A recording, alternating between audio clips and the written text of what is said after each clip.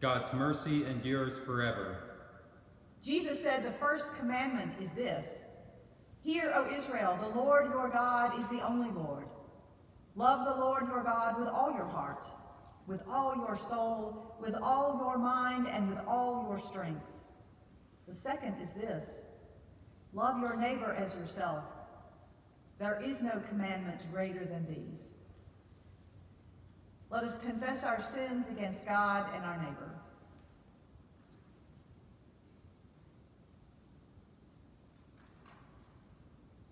Most merciful God, We confess that we have sinned against you in thought, word, and deed, by what we have done and by what we have left undone. We have not loved you with our whole heart. We have not loved our neighbors as ourselves. We are truly sorry, and we humbly repent. For the sake of your Son, Jesus Christ, have mercy on us and forgive us, that we may delight in your will and walk in your ways, to the glory of your name. Amen. Almighty God, have mercy on you, forgive you all your sins through our Lord Jesus Christ, strengthen you in all goodness, and by the power of the Holy Spirit, keep you in eternal life. Amen. Holy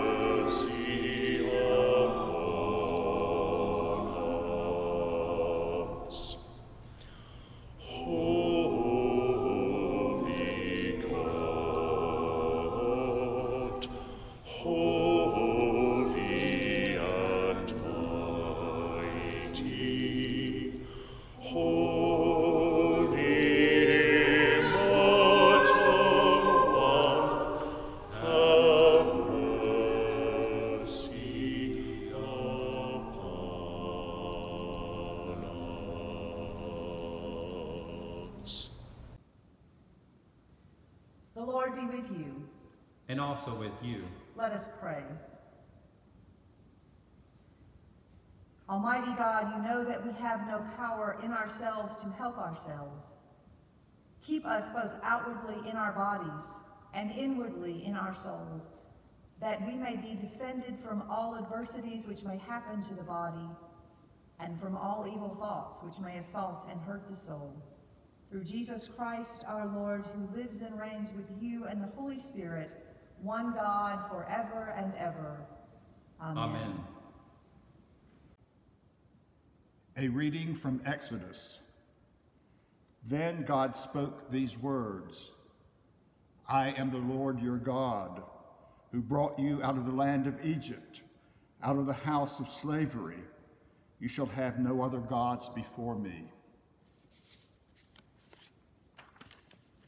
You shall not make for yourself an idol, whether in the form of anything that is in heaven above, or that is on the earth beneath, or that is in the water under the earth. You shall not bow down before them or worship them.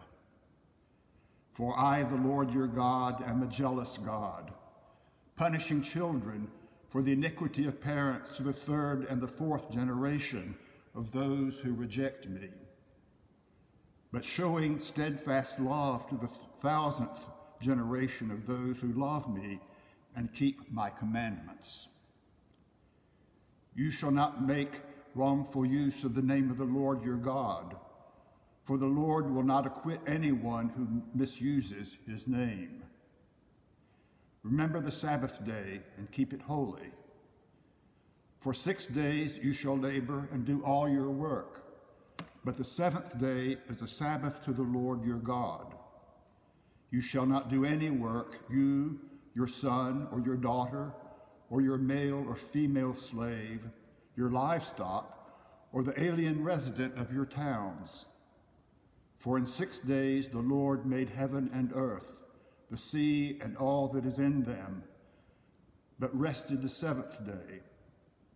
Therefore the Lord blessed the Sabbath day and consecrated it. Honor your father and your mother, that your days may be long in the land of the Lord your God is giving you. You shall not murder. You shall not commit adultery. You shall not steal. You shall not bear false witness against your neighbor. You shall not covet your neighbor's house. You shall not covet your neighbor's wife, male or female slave, or ox or donkey, or anything that belongs to your neighbor. The word of the Lord. Thanks be to God. A reading from Corinthians. For the message about the cross is foolishness to those who are perishing, but to us who are being saved it is the power of God. For it is written, I will destroy the wisdom of the wise, and the discernment of the discerning I will thwart. Where is the one who is wise? Where is the scribe? Where is the debater of this age? Has not God made foolish the wisdom of the world? For since, in the wisdom of God, the world did not know God through wisdom, God decided, through the foolishness of our proclamation, to save those who believe. For Jews demanded signs and Greeks desire wisdom, but we proclaim Christ crucified, a stumbling block to Jews and a foolishness to the Gentiles. But to those who are the called, both Jews and Greeks, Christ, the power of God and the wisdom of God. For God's foolishness is wiser than human wisdom, and God's weakness is stronger than human strength. The word of the Lord. Thanks be to God.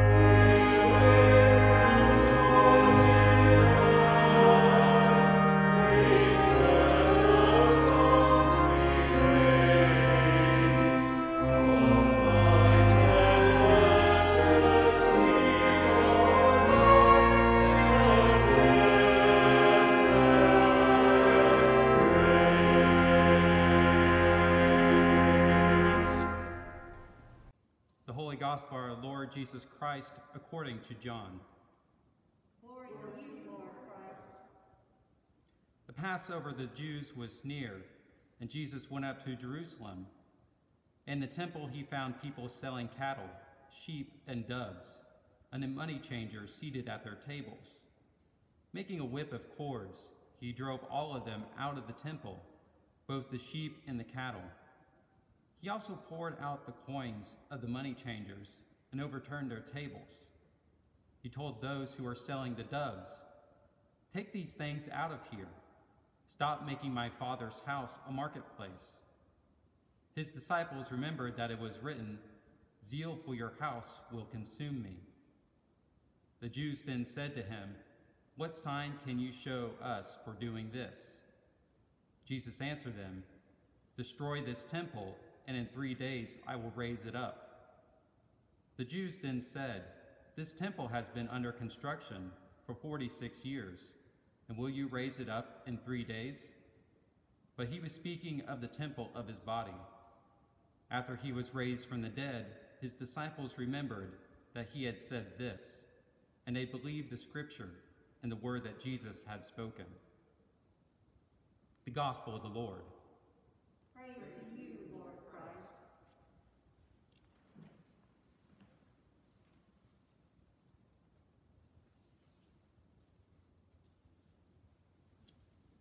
Good morning and welcome. This morning's Exodus reading is one very familiar to us both in the church and the faith, but also in the broader culture. For many hearing this passage, it conjures images of Charlton Heston, or my personal favorite Moses, Mel Brooks, in History of the World, in which we learn that there were more than 10 commandments, but the third tablet got broken. There has been much made of this passage of the Ten Commandments over the centuries, and that's for good reason. We have 10 easy to remember commandments of do this, okay, don't do that. But on the surface, it seems just that, that it is a do this, don't do that. There is more going on under the surface here of the text. When we read it in the context of the biblical Exodus narrative, but also in the broader biblical narrative as well. Here we find the Israelites, and they have been brought out of Egypt into the wilderness. And this passage finds them at Mount Sinai. Moses goes to the mountaintop and communes with God. The people are left behind at the foot of the mountain. And there Moses receives commandments from God. And then Moses gives these to the people. In Exodus, God leads God's people out of bondage into the wilderness. Gives them this list, which to our modern ears may seem a little strange. We wait to hear from God what God has for us, and we get a list of 10 things. But in the context of the ancient Near East, the civilizations there, commandments were given regularly in these types of lists, not unlike what is given here. These lists were often derived from the common wisdom in the ancient Near East, where in some instances they were coming from on high from a king. In the context of the biblical narrative here, these commandments are literally coming from on high, from God.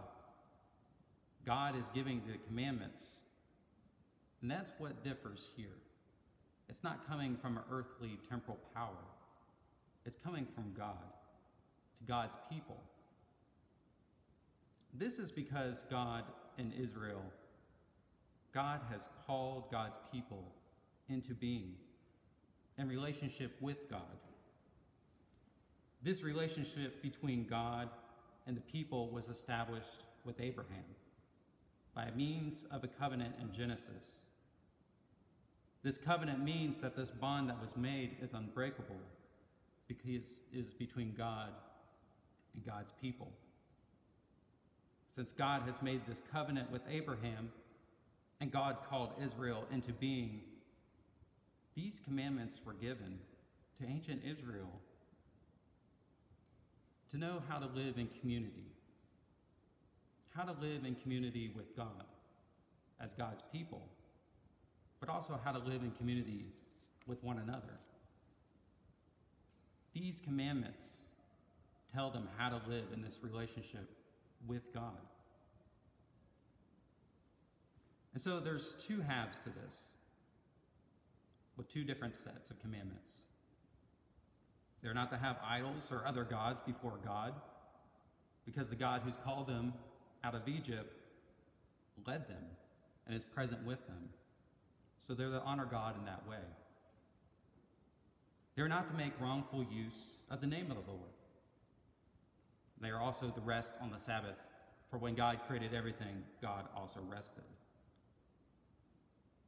By following these commandments, they honor God and live in right relationship with God. And in the other half of the commandments, these are the commandments of how to live in relationship with one another. And yes, they may seem to us kind of basic things. They're to honor their parents, they are not to murder, commit adultery, they're not to steal, they're not to bear false witness against one another, and they shall not unduly want something of their neighbors. But by following these commandments, they honor one another in this community as the people of God. These commandments here are given to ancient Israel for the building up of God's people, and in fact to flourish. Now we know from the biblical narrative they didn't always get this right. And in fact, at Mount Sinai, the people made an idol of a golden calf, going against that first commandment. And as the biblical narrative continues, there are many instances where Israel does not fulfill these commandments by both individuals and also the community as a whole. Israel fails at times to fulfill the commandments to honor God and also to fulfill the commandments to honor one another. The prophets in the biblical narrative come along and they call Israel to repentance time and again, to turn away from the things they are doing that are taken away from these commandments, away from the relationship with God and one another. They have marred their relationship with God in the community. The community, time and again, forgets the care for one another. to forget the care for the widow, the orphan, and the stranger, the poor, the hungry, those who are naked. And this is expelled out in the prophets, in Jeremiah, Amos, Micah. They speak of this over and over. And so the prophets call the community for repentance. Repentance requires them to ask for forgiveness of their wrongdoing, confess what they have done wrong. Then that allows them to live in right relationship with God and each other.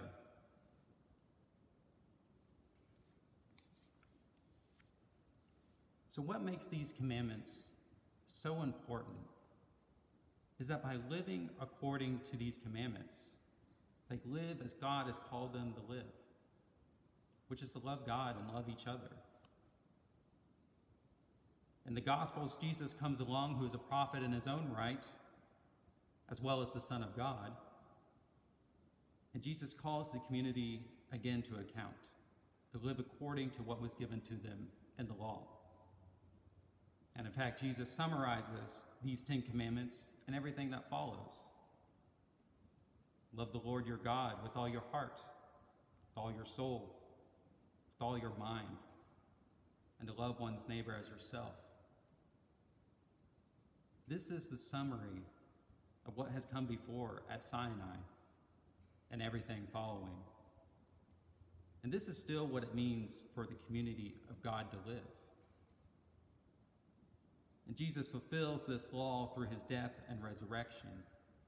He fulfills the covenant made with Abraham, fulfills what was given at Sinai as a perfect example, and establishes a new covenant with Jew and Gentile alike.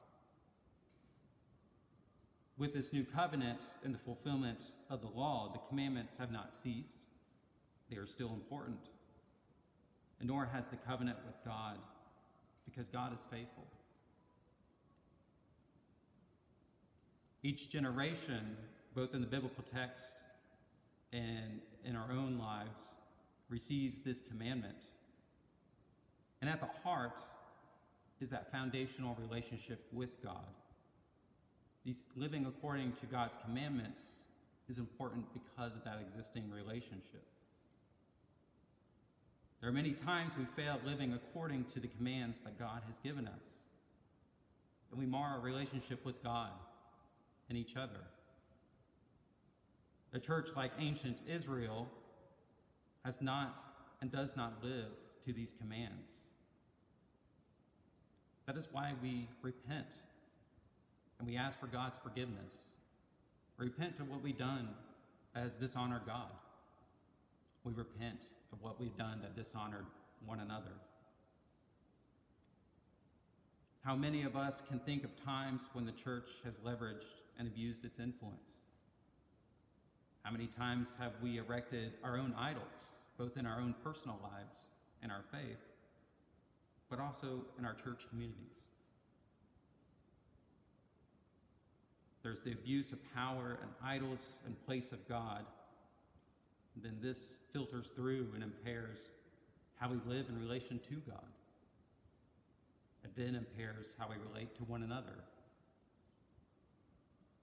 And so we can get overly attached to things such as our physical buildings, as important they are, and the continued preservation. We can also get trapped in nostalgia, how things used to be. We can get attached to the need for accumulation of money and the preservation thereof. We can get attached to influence or power. This can come in various forms, whether it be white privilege, heteronormative thinking, ableism, patriarchy, to name a few examples. These are all things, when we place them in place of God, mar our relationship. All these lesser gods ultimately drive us away from living in community with both God and with others. And God has called us throughout time to be the people of God, people who are known to be loving examples in the world. As the people of God, we have our being from God, since God has called us into community. We're called to live according to these commandments for the building up of the community. Where we don't live to these commandments, we repent. This time in the church year, we set aside a set amount of time to recall who we are, who God has called us to be. And where we fall short, we repent and confess. And we do this over and over. The miraculous thing is God does not give up on us. God's love is perfect and steadfast. In the prophets, there are many times where God says they, God could have just done away with Israel at any point. But God doesn't, because that covenant was made. God's love is steadfast. So during this time in Lent, we take this time to examine our relationship with God, both individually, in our hearts, and the way we live, but also as a community when we gather together to pray and read the biblical text. We read and hear of who God has called us to be people who love God and people who love and honor one another by living in right relationship with each other. And so we hear how we are to live into this calling. By living to God's commandments, we honor our relationship with God, and we love and honor one another. Amen. Let us join together in the words of our faith, saying the Nicene Creed. We believe in one God, the, the Father, the Almighty, maker of heaven and earth, of all that is seen and unseen. We believe in one Lord Jesus Christ, the only Son of God, eternally begotten of the Father, God from God, light from light, true God from true God, begotten not made, of one being with the Father. Through him all things were made. For us and for our salvation, he came down from heaven. By the power of the Holy Spirit, he became incarnate from the Virgin Mary and was made man. For our sake he was crucified under Pontius Pilate. He suffered death and was buried. On the third day he rose again, in accordance with the Scriptures. He ascended into heaven and is seated at the right hand of the Father. He will come again in glory to judge the living and the dead, and his kingdom will have no end.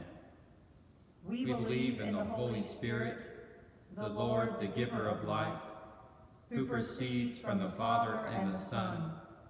With the Father and the Son he is worshipped and glorified. He has spoken through the prophets. We believe in one holy Catholic and Apostolic Church. We acknowledge one baptism for the forgiveness of sins.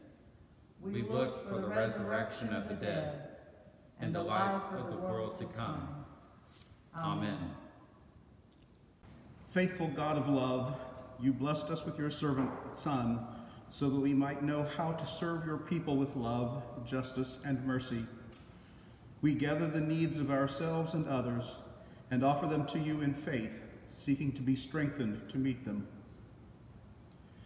For the church, that our Lenten hunger may be for care and compassion, and that we will continue to be a community of welcome and love, we pray. Lord, hear our prayer. For all people of faith, that we will see through the sin of self-involvement and rejoice at the call to love God and neighbor, we pray. Lord, hear our prayer. For our communities, for our towns and cities, for the Commonwealth of Kentucky and the United States, that those who hold power over others may be troubled and transformed by the demands of justice, mercy, and love, we pray. Lord, hear our prayer. For exiles and refugees, for the homeless and those whose homes have been destroyed by war, greed, and disaster, that you will protect them and will act to care for them, we pray. Lord, hear our prayer. For the needs of this community, especially those affected by the flooding and the winter storms, and those needs we name either silently or aloud.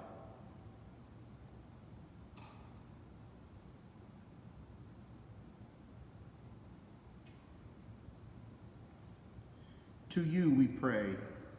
Lord, hear our prayer. For the joys in this life, especially those joys that surprise us in the midst of hardship and struggle.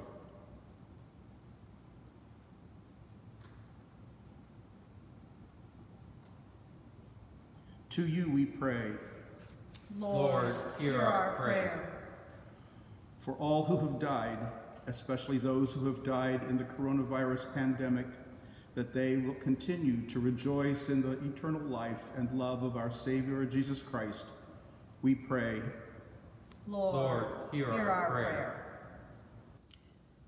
Loving God, shape us and transform us by your grace, that we may grow in wisdom and in confidence, never faltering until we have done all that you desire to bring your realm of peace to fulfillment. Amen. Amen. The peace of the Lord be always with you. And also with you. Good morning and welcome to the third Sunday in Lent. We are halfway through this season of Lent and we continue with our Lenten program at 5.30 this evening, Journey Through the Holy Land, where we will talk about the spiritual power of mountains in our story of faith. We also have evening prayer with the Bluegrass group every evening at 6.30. So if you would like to pray evening prayer every night or on select nights, you can just join any of the Facebook pages of the churches involved. St. Michael's is on Tuesday evening, so you can pop on over to our Facebook page and join us across the bluegrass in prayer. A reminder that even though we are apart in this time of pandemic, we are held together in prayer.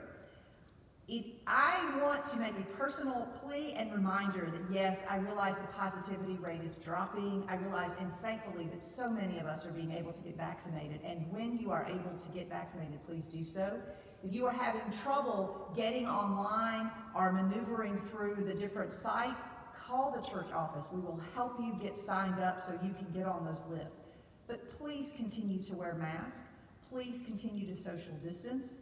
Um, this pandemic is still ongoing, and as one of our wonderful members who is a doctor reminded me, while this rate seems really low because of the spikes at Thanksgiving and Christmas, this is the very high rate that we were so concerned about last July. So we are still in the midst of this pandemic. We still all need to take precautions and act in love and kindness for the least of these in our community. And those least of these are essential workers who are keeping our grocery stores stocked and keeping restaurants going. They are those among us who are have illnesses or physical realities that make them more susceptible to disease. So please, please continue to make decisions that help us move through this time of pandemic. Um, and in that vein, please also note that your vestry and I and Father Kenny and Father Jesse are beginning conversations about what the next steps of our life as um, a worshiping community will look like. But what I can tell you that I've heard from our vestry, and I am thankful to have this kind of leadership, we at St. Michael's care about those who are most vulnerable in our community. That is who we are as a community. And any decision that we make regarding in-person worship will be made in light of those who are most vulnerable and most susceptible to the devastating impact of this pandemic. Uh, so please continue to pray. Please continue to wear your mask and physical distance. And please continue to know that we are together as the body of Christ, even because we have video. I'm so thankful that we've had this opportunity. So a shout out again to Ron and Tracy for faithfully uh, videotaping and editing, and particularly editing out the parts that probably don't aren't safe for children to see in our videos. We celebrate our birthdays and anniversaries and life events of our members and friends this Sunday, and we especially celebrate the birthday of Sharon Hogue, who's our past senior warden. So Sharon, happy birthday. Let us pray. Eternal God, creator and sustainer of all life, bless, preserve, and guide your children as they mark another year of life in you. Make their hearts ready to receive your love and free to love others. Grant them grace to grow into the fullness of Christ. Strengthen them, give them joy, and awaken them every day to the power of your saving help. Through Jesus Christ our Lord. Amen. God of mercy and compassion, your word calls us home to faith and love. Accept all we offer you on this day. In the name of Jesus Christ our Lord. Amen.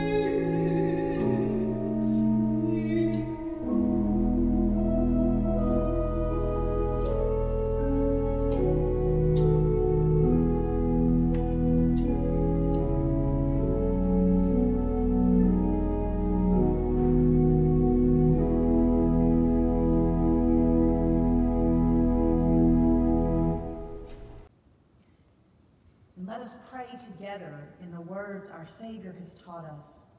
Our Father, who, Who art in heaven, hallowed be thy name. Thy kingdom come, thy will be done, on earth as it is in heaven. Give us this day our daily bread, and forgive us our trespasses, as we forgive those who trespass against us. And lead us not into temptation, but deliver us from evil.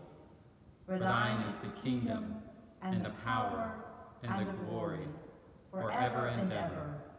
Amen. Bow down before the Lord.